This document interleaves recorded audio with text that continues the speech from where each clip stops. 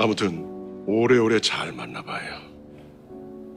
혹시 콩 하나를 영어로 하면 뭔지 알아요? 네?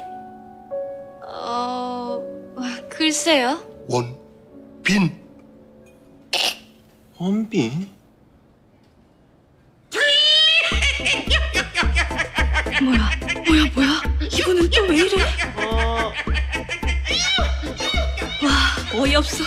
부자가 웃음소리까지 똑같네 똑같아. 뭐야 왜 콩하늘이 원빈이야? 엄마는 참 하나는 영어로 원이고 콩은 빈이잖아.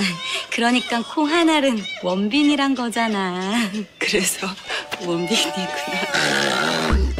엄마 그렇게 웃지 좀 말라니까. 나까지 웃기잖아. 아니 뭐 이런 가족이 다 있어?